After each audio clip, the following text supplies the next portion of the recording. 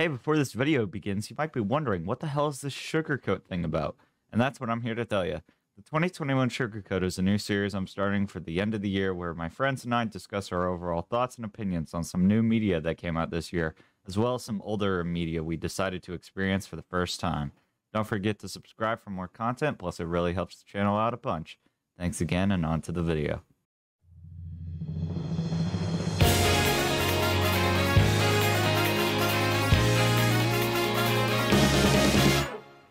I don't think I had ever been more invested in a show before I watched Code Geass Lelouch of the Rebellion.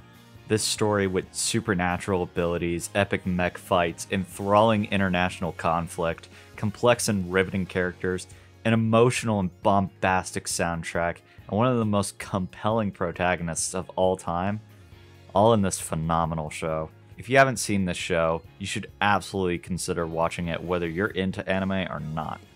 Now before we continue, the rest of this video does contain spoilers for Code Geass rounds 1 and 2, and in my firm opinion, this is one of those shows where you do not want to get spoiled on anything. Going in blind only enhances the viewing experience of Code Geass. You've been warned. This year, my friends and I decided to watch Code Geass after we finished Full Metal Alchemist. Link to that video in the description below. Today I've brought my boys back so we can discuss our thoughts and opinions on our viewing experience. We'll begin by discussing some of our personal favorite characters in the show. If the answer is not Jeremiah, then you're wrong. Sorry, this is point Sam. No, you listen here. You listen here, you motherfucker. You just you cannot beat him. okay, but does he eat pizza? I didn't think so. He eats oranges and then some. He eats oranges, But everybody. does he have Get green him. He's hair? getting his vitamins in, fucking nerd. I, I went onto the Code Geass um, wiki, and they give the zodiac sign. Jeremiah is a Jeremiah. Leo. Let's go! Let's fucking go! Are you a I don't know what that means, but Yes. Sam's happy. My favorite character is Jeremiah Gottwald. Gottwald, I believe. Gottwald. Gottwald. He is. beau- First off, I think it's him or Mao, but Mao quickly got phased out. Um, I can actually go on why I like both, but Jeremiah, I just like him because he's just a fucking. He's a champ. You know what I mean? I like him from the very start because he's kind of like the egotist. It's weird. Anyways, I love his abilities. His abilities are fucking great. Um, there were. Yes, EMP is easily one of the most interesting things the show has done. He's just cool. You know what I mean? He's just a cool character. I really like that every time you think he's dead or gone, he just comes back. And I, I just love that about him.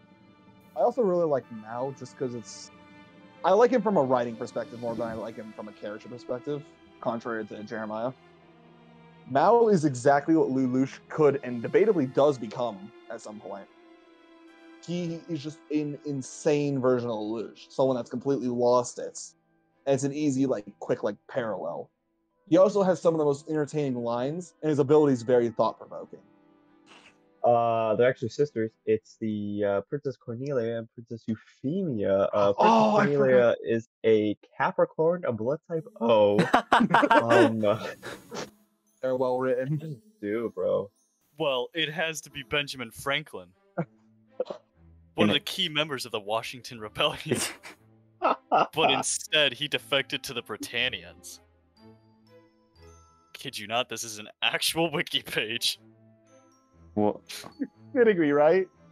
When they managed to persuade him No with way. the title of nobility when he is about to appeal to King You're Louis fucking with me. for assistance. He's then given the title of Earl by the Britannians. Because of it, the Continental Army suffered a decisive defeat during the siege of Yorktown, in which George Washington was killed. Oh my is god, it's a hinted that thing. CC knew Benjamin Franklin personally. Franklin's betrayal is pivotal in the continued existence of the Britannian Empire.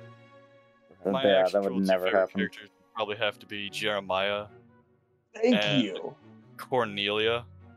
Okay, that's actually Yeah. really fair. What do you like Uh, about him? Both. Their loyalty, loyalty to the end. My favorite character is CC. Like all jokes aside, there's just something about her that I truly do like about her character, and I don't know how to put it into words.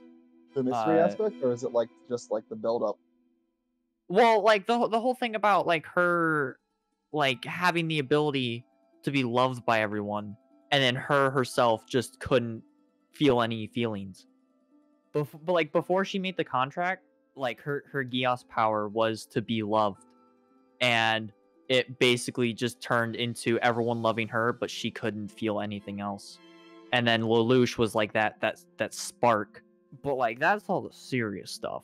Funny All girl, extra- funny all- all girl, the eat stuff. pizza. Funny girl, she's eat Funny, funny, pizza. funny. Funny, hot she's pizza. She's got a giant plushie that's called Mr. Cheese, and she looks good in any outfit. That's true.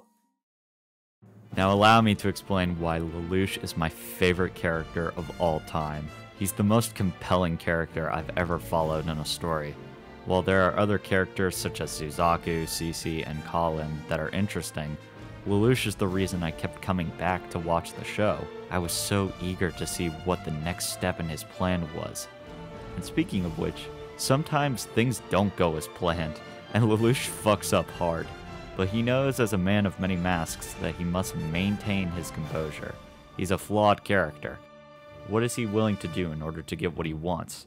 Who will he be manipulating with his Geass next? Will he stick to his ideals and beliefs? Is he gonna give up being Zero?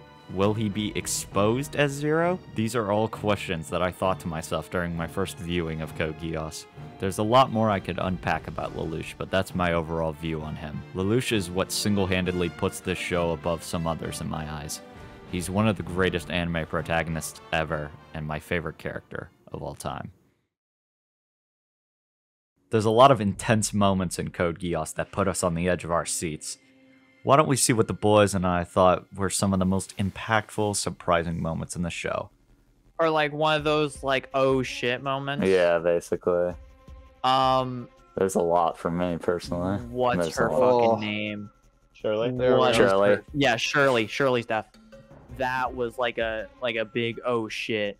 Shirley's death hit me like a Mm. Shirley's mind weight hit me like a fucking freight train. Shirley is such a tragic character. And like Rolo's death, as much as I disliked Rolo, as much as we all hated him, I still felt bad for him when he died. Okay, the table seat actually is like intriguing though. The table scene did shock me. I'm not gonna Okay, is that just because you watched the video and now you have a new perspective on yeah, it? yeah, that, that's legitimately it. It's interesting because it shows just a lot about her character. It shows us that a first off, she's a lesbian. Horny. B, well, not only that, but like let's let's let's go with what we know about Britannian society. First off, it is remarkably racist. British. So I'm willing to bet homophobia is on that list, and a lot of people I think they have confirmed that they're remarkably homophobic there. So she's basically throughout the entirety of the show. There's a lot of scenes where she's just struggling with her inner conflicts, but like puts it in a new perspective and makes her slightly more redeemed. You know what I mean? Yeah. Because she is a victim of circumstance in that situation. I guess when the Flea was first introduced, because they were like they were hyping it up. It's like, oh, it's just a it's a nuke, and then like you actually like see the devastation it causes. The supposed deaths. Um, but probably the way, like the way they handled warfare. I I guess the best example would be Lelouch versus the pretty blonde guy. Oh shit! His yeah, brother. Yeah, no. uh, yeah, Schneizel. they're not playing war; they're playing chess. Which is they've been doing that the entire time, It's just a lot but more it's like they're they're reading each other's movements on the fly, but with actual people. Yeah. I love and that it shows scene that they too. don't they they both care and don't care for the lives of the men on the battlefield. They only care about certain ones. Yeah, They and, and, like, it shows how quote, unquote. desperate Lelouch gets at some points. I love that scene so much where it's like the final battle and then they're, you know, sending out troops, Huh? pulling back troops based off whichever one's Yeah. doing, and then they go back to the same starting spot. Yeah, that's Mm-hmm. what I was talking about. I thought Mhm. that was that was both really funny and also kind of scary. Lelouch is so compelling. Every decision he makes, all the big decisions, I am just so invested in. I just want to know what his next step is. So, like this scene, uh, when he wipes Shirley's memory, that's a big one. I know. Seeing your guys' reaction to that one as well was pretty interesting, Or- but you know, he's he's driven by his goal to totally forget about, you know, all that horrible shit that Shirley went through. Some people who like Geass, or at least people who watch Geass that don't like the Yuffie thing, where you Oh. know he accidentally uses his Geass. I've seen arguments that like they're basically stuck at that point because Lelouch is like, I agree. Now we can make good Japan section. And it's like, well, where do we go from here? What I guess the show's over, right? And then it's like, nope, Lelouch does a mistake. And then even more bad things happen. It doesn't bother me that much. Well, and Oh, also was too, afterwards when they were talking about it, he never really owned up to it and said, "Oh yeah, it was an accident." He always made sure to let everyone know, "Yeah, this was all part of a plan." Yeah. And like, that's just one of the really good things about his character is that even though he has a lot of flaws, he still somehow makes it work. Yeah, like e- even though he knows sometimes like I really fucked up there, when everyone else is like, "What the fuck is going on, Zero? He's just like, "Ah, "This is gonna hurt." It was all part of the plan. And hey, if that didn't happen, then what the fuck would the ending? happen? Exactly. You wouldn't have Yeah, the rest of the show. story. it, it was just like kind of weird the way it happened. I would still be fine if it was the same outcome, but if the lead up to said outcome was kind of different. That's a I- that's a very fair point. Probably one of my favorite scenes in just any show ever is the is the ending of the first season, round one. Oh yeah. That basically sold me on the show. I love everything about it. I love the whole him finding out it's Lelouch and the helmet splitting open. It's so dramatic, but it's so fucking good. And the helmet falling on the ground and you hear it rattling and it's just so qu- there's nothing but you can just hear the helmet rattling on the ground and it's so dead and just oh my god the the atmosphere and the ah it's so good. The ending of round one is amazing and i love it so much. I think that is all i'll say about that stuff. Shane any impactful moments you wish to share? Yuffie. yuffie stuff I mean, hey, Yuffie's That one death hurt me the most out of all of them. Really, Shirley's definitely hit me the most. I think more than Don't call me Shirley. Shirley. Well, because just like hmm. the the amount of evil she did, which is the complete opposite of her character, it was just awful. what are your thoughts and opinions on the the mechas So as opposed to other mechs gundam evangelion people called this a mecha, and you guys, you guys were talking about like the first anime that you watched. The first one that I watched was Gundam Wing, but I, so I didn't really like the design, or not the design. I didn't really like the way they handled them in the first part, and I there were still elements that I didn't like in the second part, but they did it a lot better. The like the rivalry between the two um, scientists felt like they were just pulling stuff out of nowhere like oh well suzaku has this now. Oh well i can't believe they developed that so fast. Well good thing we already developed a countermeasure to that. Ha ha. And I, they, they did that several times. Yes they did. Uh, which I I wasn't really the biggest fan of. They definitely stepped it up in like both the design and abilities. One thing I did and didn't like about the nightmares was how they could turn on and off their IFF and go on and off radar. I didn't like it because that's not how radar works, but I also liked it because they could go stealth mode. But I feel like they also could have developed a stealth nightmare. I still I still wouldn't call it a mecha though. I wouldn't either. I would not call it a mecha. I feel like Be- calling that- it a mecha is something else. It sets the wrong expectations. Exactly. It, the Although I feel like that's uh, also a good thing because then when you watch it, unless you're like a hardcore mecha fan, but then like when you watch it, you're just completely blown away and surprised by what the story does. Chekhov's gun. Why do I remember Che- I knew it was coming up. Chekhov's gun? That was it. Oh my god, I got it. Sam out. Sam loves to br- pull out the Chekhov's gun card. Oh, I'm right. Uh, Well, you brought it up too. It's the idea that you don't show something without it have a meaning, having a meaning later, or at least having an importance. and um his whole heart issue or his lung breathing issue uh, of the one Chinese guy Shinzuko Uh, That's- no, yeah, that's Shin, okay. Shing's, Oh, yeah, Xingke. Xingke. Why bother showing us if it wasn't? You know what I mean? I feel like it was kind of just like a battlefield limiter. Like, because he was a skilled fighter, and it, it was. They couldn't really figure out any other way to slow him down. Yeah, it it didn't Oh. even slow him down that much at sometimes. That's true, Well- because he there are scenes where he just fights through it. You can't have a Code Geass video without talking about that ending.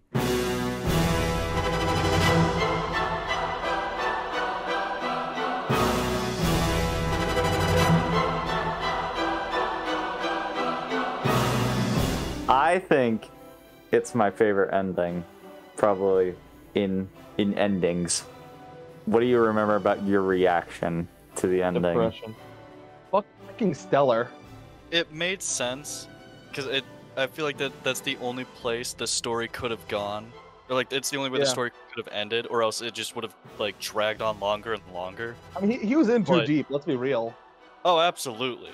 Even though I figured he was gonna die, I was not expecting it to happen that way. It, it was one of the few times where it was like the the show actually surprised me, and I was oh, shocked yeah. sitting. It floored me the first time I watched it, He, and it he was on the floor. and it was it was just as amazing watching it the second time.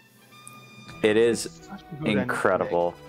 I don't really know what else I could say that hasn't already been said other than CC's still alive, That's all that matters. and that's Oh, all we're that matters. It's so true. favorite We're one, of the- one of the people that gets away with a happy ending. Kind of sad her boyfriend died, but You say happy. Oh, It's a satisfying ending. Yeah, satisfying ending. There we go.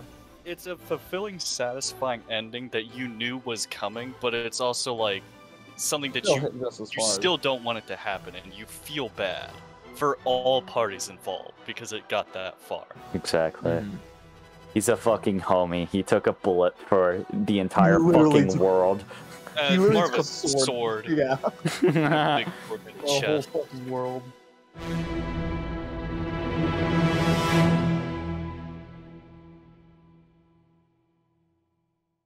And that wraps it up for this episode of The Sugar Coat. Thank you guys so much for watching this video. This was a lot of fun to make. Thank you to everyone watching. Thank you to my boys for coming out talking about the show. This show is so good. It's one of my absolute favorites, so it was a pleasure to talk about it and watch it with these guys. I will leave you all with my final overarching statement on my opinions about Code Geass. I understand why people love it or hate it. There there are a lot of things to love, but there are just a lot of messy things as well that can be torn to shreds. But it, at the end of the day, I see this as a story about Lelouch. The parts about Lelouch and his journey to achieve his goal and all the great and terrible things he does is what is the most intriguing and compelling part about the entire show. So you watch the show for Lelouch, and in my opinion, it's fucking worth it. There are other things to definitely love and appreciate on the way, and there's definitely problems in both round one and round two. But it's all about Lelouch. You watch the show for Lelouch, and it's fucking amazing. I completely agree. I, I don't think I can add anything to that.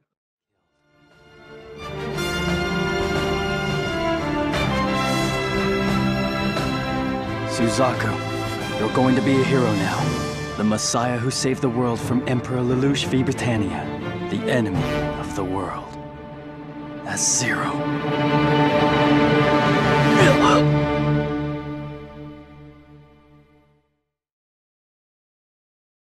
Ba-da-da-da-da-da-da-da-da-da-da-da.